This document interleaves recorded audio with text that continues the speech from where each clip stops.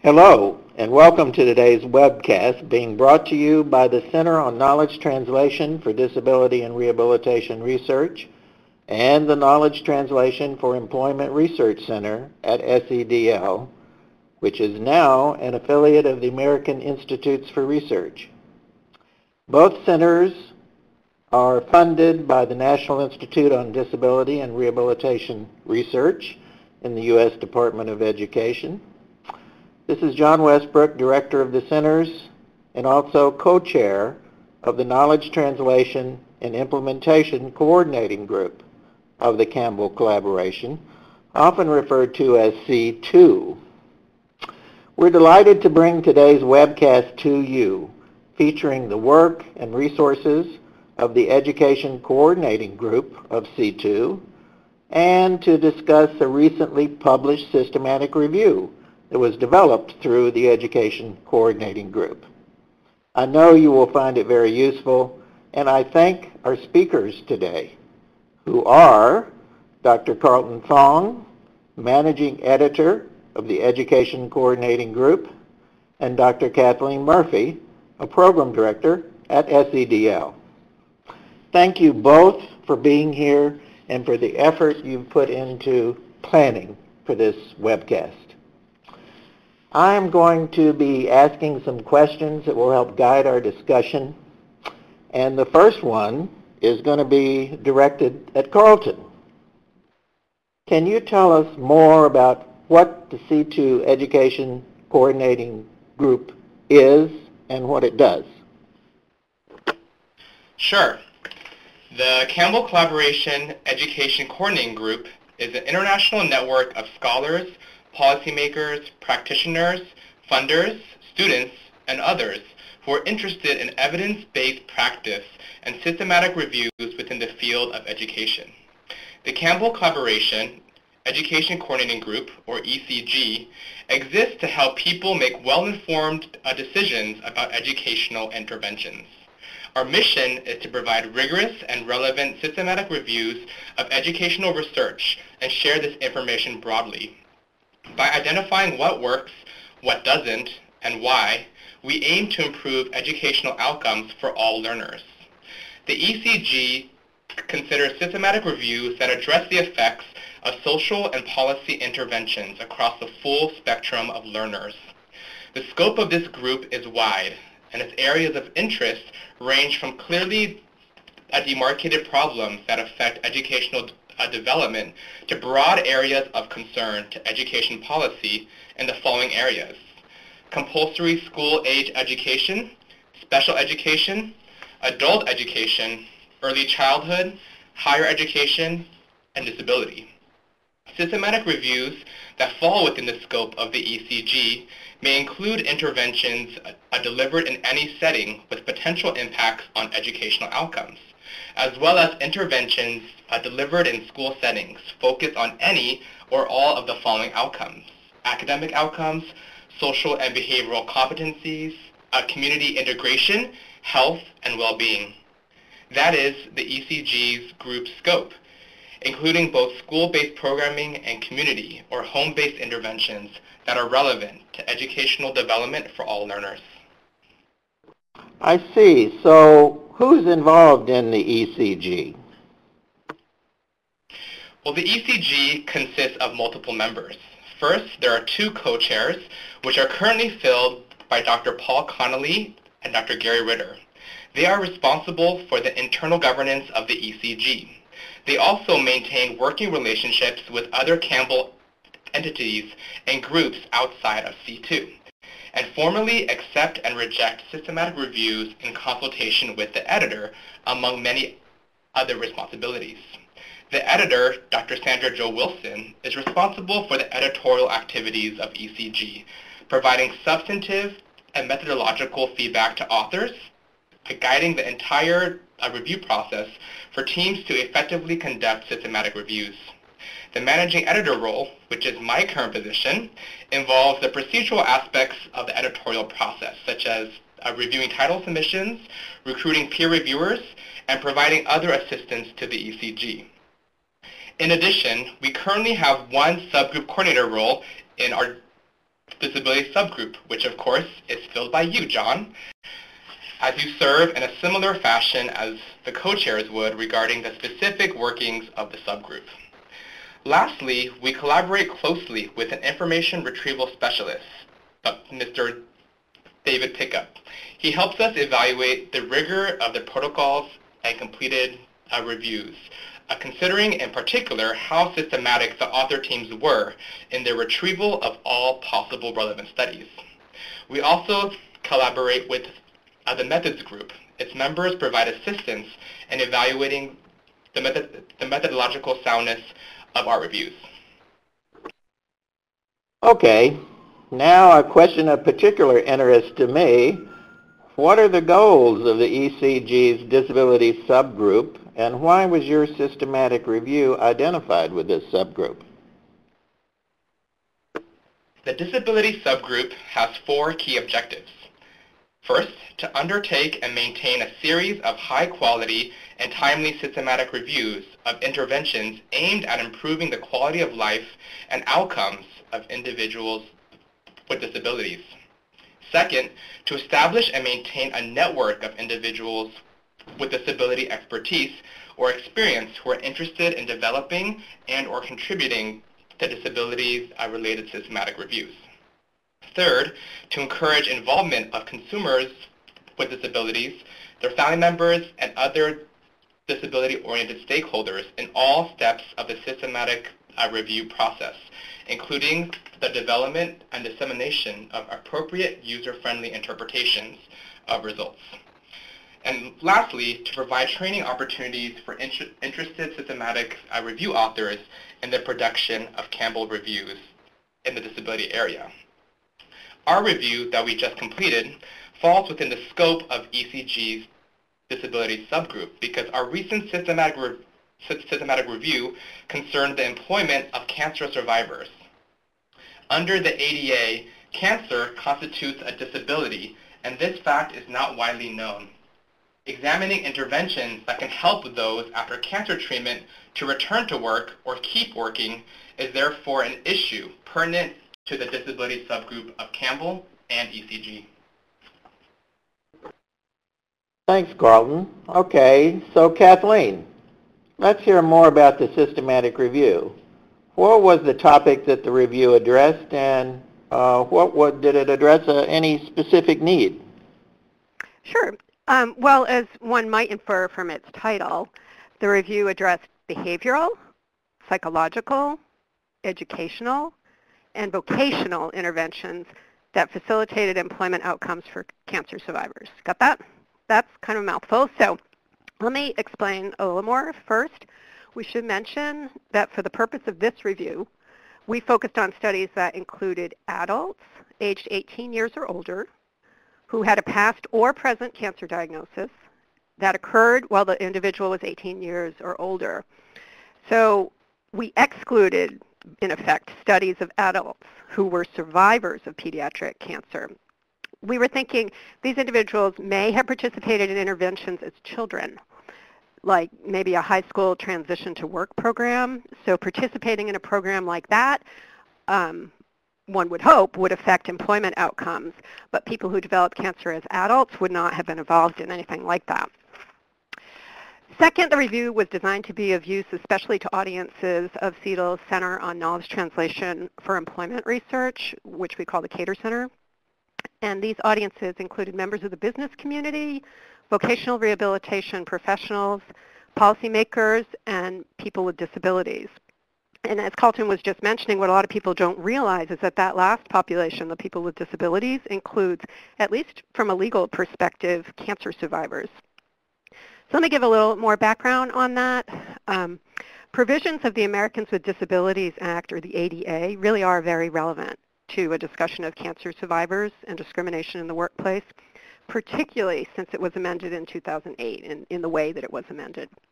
The 2008 amendments, which took effect in 2009, so just about six years ago, clarified what kinds of conditions constitute a disability. The legislation defines disability as having, quote, a physical or mental impairment that substantially limits one or more major life activities, end quote, or, quote, a record of such impairment. So that's two ways you could be protected. And then a third way is, quote, being regarded as having such an impairment. Um, any discriminatory action that targets someone who does not have a disability, but who associates with someone who does, and you could think here that might be a parent or a spouse of someone with a disability, is that discriminating against someone in that situation is also prohibited under the ADA. Okay, so then in the amendments, the phrase major life activity was defined more completely. The word working is explicitly mentioned as well as, quote, operation of a major bodily function, end quote, and in a bunch of long list of functions, cell growth was included. So this latter reference to cell growth has clear and obvious uh, implications for cancer. Now these amendments, they're you know, relatively new, and many of those who benefit from them are definitely not yet aware that employees with cancer qualify for ADA protection. Now think about it. This lack of awareness is happening at the same time that the number of cancer survivors in the workforce has grown. It's great. Treatments are more successful. So there are growing numbers of cancer survivors. And the rates of cancer patients eventually returning to work range from 56% to 89%. I mean, whether or not someone returns to work can depend upon a whole number of things, such as age and type of cancer. But um, in any case, it's still a majority. the, the lowest rate of return to work in the studies that have been published is 56%. So especially since the recession, people are retiring later or continuing to work part-time. More older workers translates to more workers who have cancer. That's why it's especially important now to, to study survivors' employment-related issues so we can know how best to design interventions to address those issues. So in sum, we did this review from a disability and employment research perspective, not a medical perspective. Basically, we wanted to find out by doing this review if there were any evidence-based interventions that might be relevant to employers or service providers that did not involve pharmaceutical or medical treatment. Our thinking was that knowing more about non-medical approaches might allow for more feasible implementation within workplace settings. Okay, I see. Um, what were the key findings of your review, Carlton? So after conducting an exhaustive search of relevant studies that measured the effect of an intervention on the employment outcomes of cancer survivors as Kathleen just uh, described, we found 12 studies that met our inclusion criteria. 10 of those studies measured employment status after an intervention, whether um, a cancer survivor was employed or unemployed after this intervention. So we calculated, um, we um, found two main measures which were used for employment status, which was whether they were employed or not, or return to work, whether they returned to work um, with, with their previous job. So since studies that measured employment status did not distinguish whether participants had prior employment before cancer diagnosis or treatment, we combined these two measurements as a single measure of gainful employment status. The results of the studies were synthesized in a random effects meta-analysis using the odds ratio effect sizes. The, the weighted mean effect size for employment status was an odds ratio of 1.71, favoring the intervention groups. So to better interpret the odds ratio, we went ahead and converted the means odd, odds ratio to percentages. So first calculating a baseline employment rate for all the comparison groups across studies, which was around 60%. If we have an odds ratio of 1.71, this translates to an employment rate of about 71% for intervention uh, participants, which we think is a non-trivial change. We did not find, however, that the interventions affected the number of hours worked or the number of sick leave days taken. All right, given that, what would you say are the implications of this systematic review for the areas of policy and practice, Kathleen?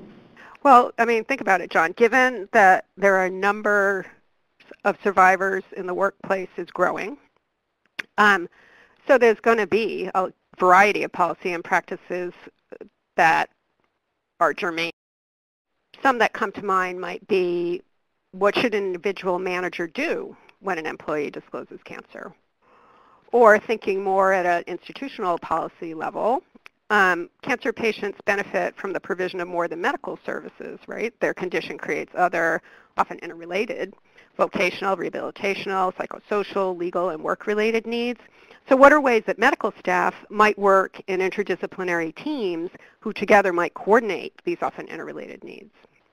And then if we're going to have employers involved in those teams, what can companies do to equip their staff, especially supervisors, to help them know how best to manage cancer in the workplace? If employees want their involvement, meaning if employees want to be involved in such teams, because obviously you need to disclose your cancer first before you would be engaged in anything like this. Um, how might employers participate in the interdisciplinary teams working with the other kinds of service providers, or at least be staying in communication with them? So these are the kinds of implications. And based on the results of this review, really, no one should develop a policy or intervention and then claim what they're doing is, strictly speaking, evidence-based. Now, in a few minutes, Carlton will explain more about the limitations with respect to the scientific rigor of the studies we found. But nonetheless, I mean, our hope obviously is that existing research can help to inform these kinds of questions that are coming up, even if given the nature of the research base backing up what seem to be recommended courses of action, the answers are provisional. Very interesting. So what types of interventions did you find that have been used to tackle this problem, Kathleen? Well, sure. I mean, absolutely. A first step, you know, if you want to inform decision making in these kinds of questions, is to look at the interventions we found among the small group of studies that met our criteria for rigor that also had positive effects on employment outcomes.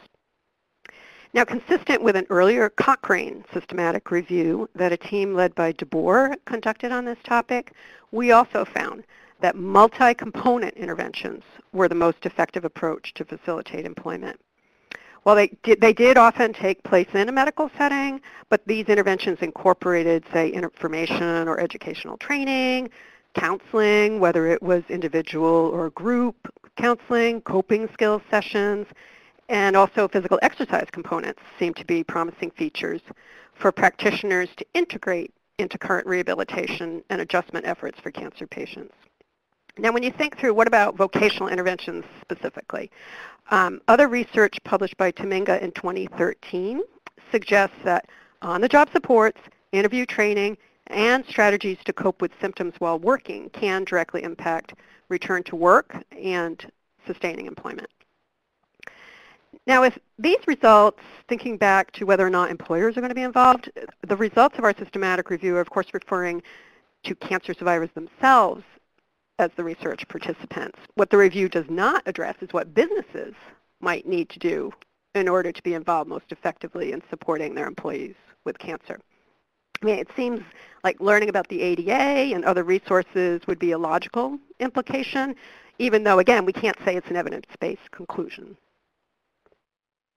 Okay, well, given that, how certain can you be that you learned about something that works based on your review of the available research? What would your response to that question be, Carlton? Well, overall, our systematic review found limited evidence of sufficient methodological rigor to confidently assess the effects of interventions for employment of cancer survivors. For one reason, the number of randomized controlled trials, or RCTs, was few in number, and even with quasi-experimental studies, and we'll explain what those are, the sample sizes were actually pretty small, ranging from treatment groups of 7 to 172. Moreover, the majority of studies lacked information about the study elements which are needed to assess things like risk of bias or simply evidence high risk of bias.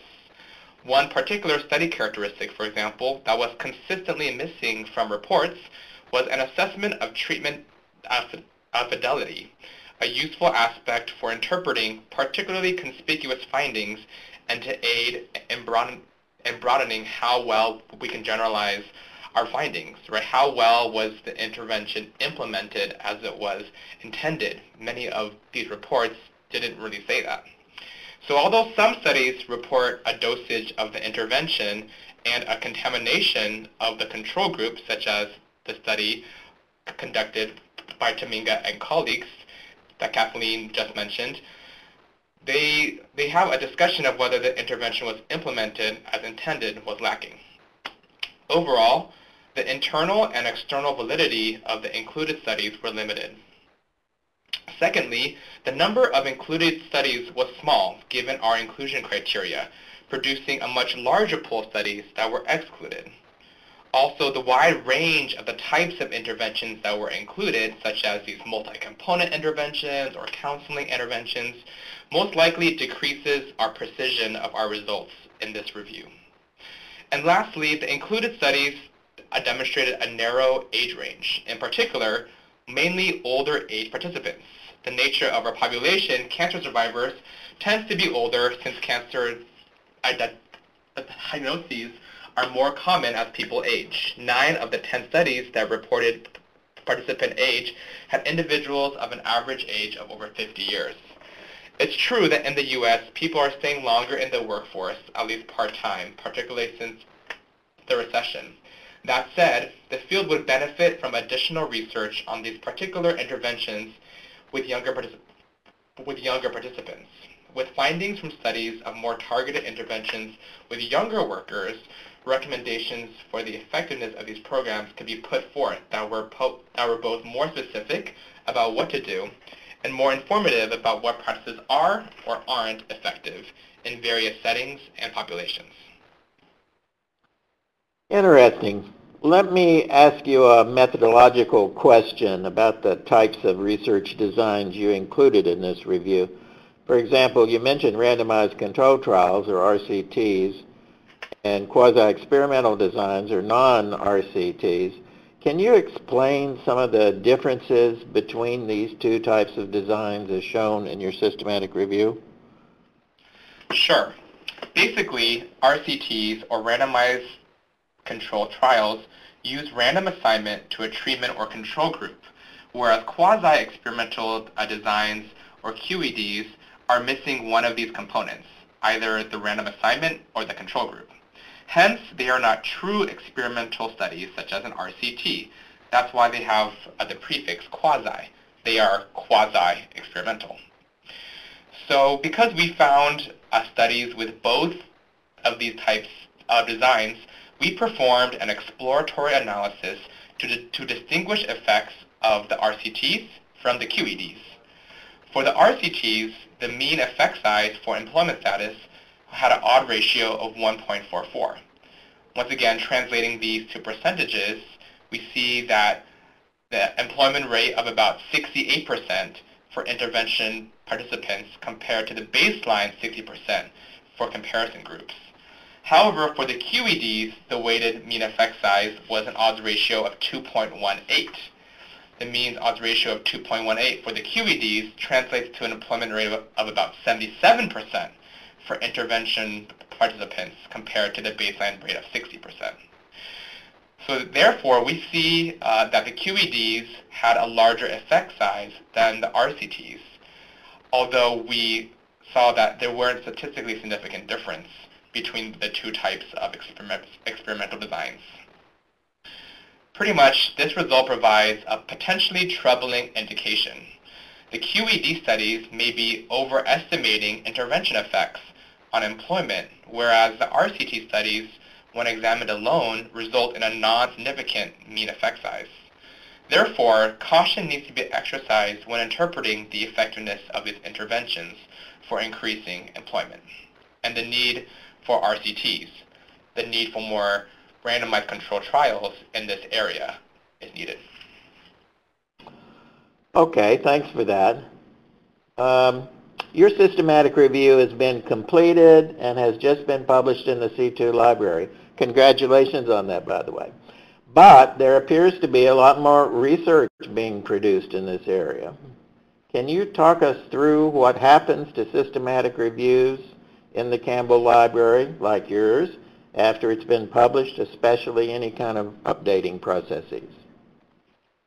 Yes, the Campbell Collaboration encourages author teams to update their systematic reviews every three years. As the landscape of research, as you mentioned, is continually changing and evolving, the nature of the evidence is also changing. Therefore, updating reviews is an important aspect to the systematic nature of reviewing to ensure that the evidence is up to date and accurate for impactful policymaking and program development for the future. Okay, that's good to know. Kathleen, could you also talk a little bit more about the direction your research is taking? Absolutely. Um, as we mentioned at the beginning of this webcast, this systematic reviews production was supported by SEDL's Center on Knowledge Translation for Employment Research, funded by the National Institute on Disability and Rehabilitation Research. Now the KTER's research follows a set trajectory. Step one was to conduct a systematic review on a topic of relevance to disability employment. So we've done that. Step two was to collect data from our target audiences about what kinds of factors acted as barriers and facilitators to the uptake of evidence into practice, and this step has also been completed. It involved, among other activities, conducting focus groups with members of the business community. Participants in those focus groups told us that if they were going to use any research findings, those findings would have to be relevant to an existing business need or maybe a legal mandate. People in business also use online resources quite a bit. And while frankly, maybe it's not always easy for researchers to acknowledge this fact, but shocker, not everyone wants to hear about research from researchers.